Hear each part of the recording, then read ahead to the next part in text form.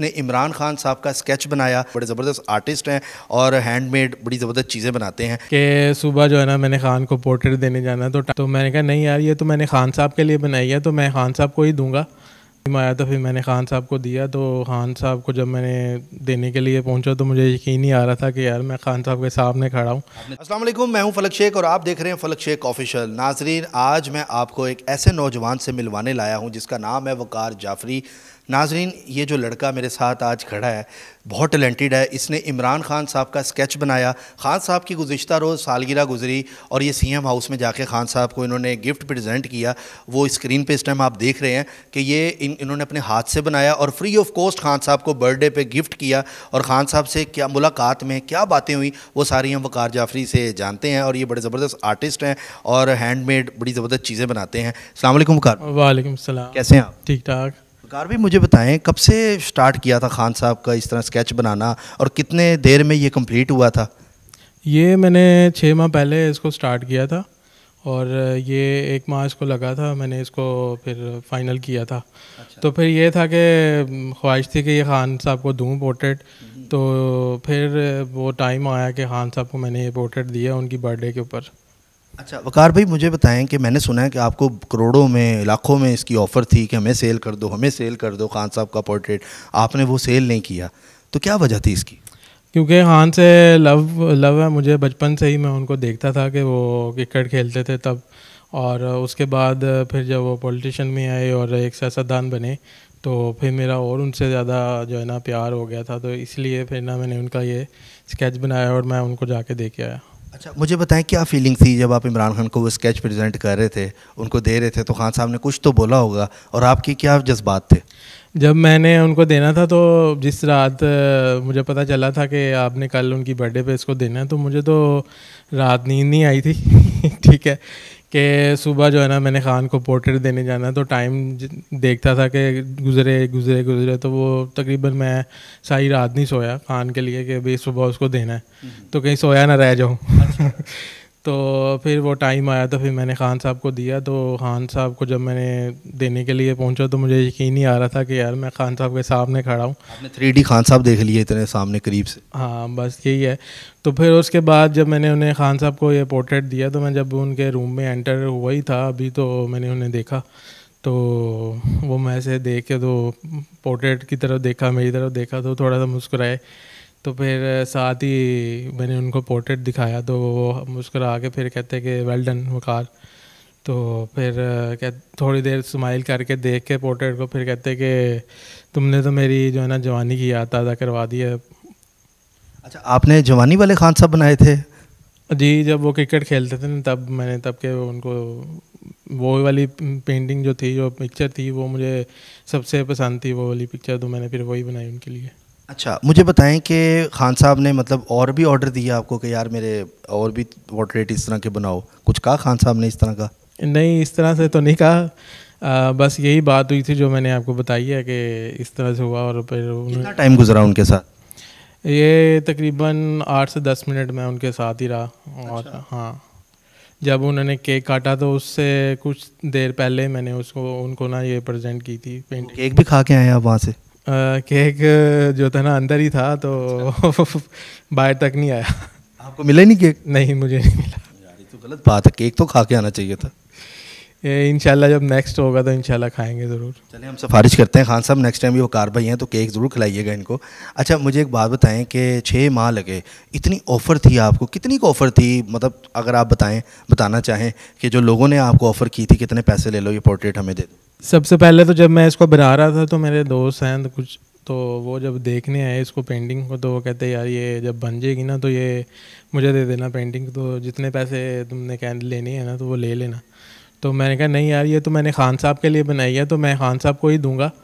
तो उसके बाद जब मैंने, एक दिन पहले ही मैंने अपने ना व्हाट्सअप के ऊपर इसको लगाया था तो लिखा था कि मैं कल जा रहा हूँ पोर्ट्रेट देने ना खान को। तो मेरे एक क्लाइंट है बाहर होते हैं तो उन्होंने मुझे फ़ोन किया कि यार वो कार ये तुम ना आ, मुझे दे दो और जितने पैसे तुम्हें लेने हैं तुम लो। तो मैंने कहा नहीं ये तो मैंने खान के लिए बनाया है मैं तो खान के खान को ही दूँगा और फिर मैंने खान को ही दिया। अच्छा और भी सियासतदान हैं हमारे पाकिस्तानी अगर वो ख्वाहिश करें कि वकार से हमने अपना पोर्ट्रेट बनाना है तो आप बना देंगे? जी मैं बना दूँगा उनको लेकिन मैं उसके चार्जेस उनसे लूँगा। जी। कितने मतलब वैसे ऑफ़र हो गई थी आपको? कुछ वैसे मैं पूछना चाहूँगा लाखों में करोड़ों में। इतनी ऑफ़र हो गई थी कि मैं अपना ना एक और घर में इस तरह से मैं बना सकता था कि इतनी ऑफ़र मतलब ये करोड़ों में ऑफ़र हुई है? जी इसी तरह ही। क्या बात है वकार भाई बड़े छुपा रुस्तम आप निकले अच्छा खान साहब के अलावा आप कौन कौन से पोर्ट्रेट और बना चुके हैं और अभी बना रहे हैं? इसके अलावा मैंने अभी आ, मैं एक खान साहब के अलावा ना मैं तारक जमील साहब को बहुत लाइक करता हूँ और मैं अब नेक्स्ट उनका ही पोर्ट्रेट बना रहा हूँ और मैंने उनको देने जाना है। तो इस काम में लग गए हैं आप।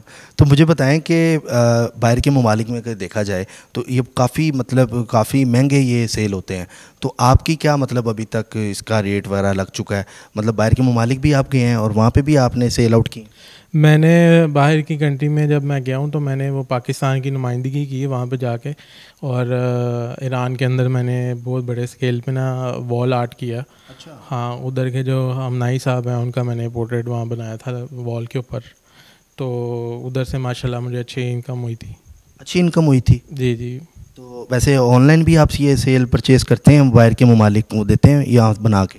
हाँ मेरा चैनल बना हुआ है मैं उस पर भी सेल करता हूँ। नाम से चैनल है? मेरा जाफरी आर्ट स्टूडियो के नाम से चैनल है और इंस्टाग्राम भी बना हुआ है उस पर मैं सेल करता हूँ।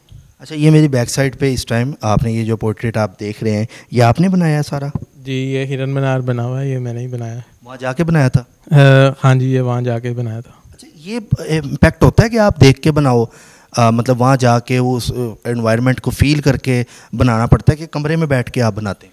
नहीं नहीं हम उधर जाके लाइव बनाते हैं और इसको फील करते हैं कि ये क्या चीज़ है। और अगर आप इसको फीलिंग से देखें तो ये उस तरह से फिर आपको ना ये एक नेचर की तरफ़ जो है ना वो आएगा देख के कि यार ये ऐसे लगेगा जैसे बादल हैं तो आपको लगेगा कि अभी बारिश हो जानी है। तो इस तरह से ये फीलिंग आती है इसकी। कभी ऐसा भी होता है कि हिरम आप देख रहे हो ऊपर से दो तीन कौए इकट्ठे जा रहे हो तो वो भी आपकी मजबूरी होती है बीच में एडजस्ट करना? हाँ हाँ फिर हम अगर हमारा व्यू उस तरह से बना हुआ तो फिर हम उसको भी ऐड करते हैं बीच में। अच्छा एक अच्छे पेंटर के लिए क्या चीज़ें ज़रूरी होती हैं? किस चीज़ पे फोकस करना ज़रूरी होता है कि देखने वाले को अच्छा लगे?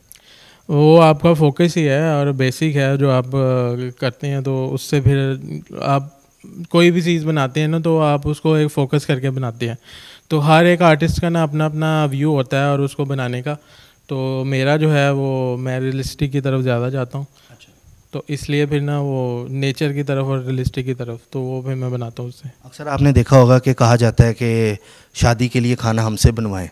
तो आप भी मतलब कि लोगों का जो जो इस टाइम वीडियो देख रहे हैं इंटरेस्टेड हों अगर कमेंट सेक्शन में हमें बताएँ अगर कि हमने वकार से स्केच अपना बनवाना है तो आप बना देंगे फैमिली का? आ, जी जी मैं बनाता भी हूँ और मैंने 500 से ज़्यादा जो है ना स्केच अभी मैं बना के दे चुका हूँ। तो कितनी मतलब इसकी ख़र्चा कितना आता है और कितने पैसे आप लेते हैं?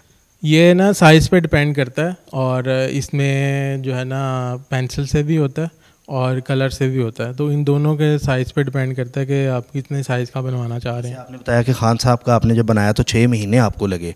तो अगर कोई फैमिली वाला के इसी साइज़ में बनवाना चाहे तो कितनी देर में आप बना देंगे? खान के लिए हम आपको बताया कि खान साहब के तो लव था मेरा उन उनसे तो इसलिए उनका मैंने बड़ी डिटेल से बनाया स्केच और टाइम लगाया उसके ऊपर। तो वो एक मंथ के अंदर मैंने वो ना पूरा कंप्लीट किया था।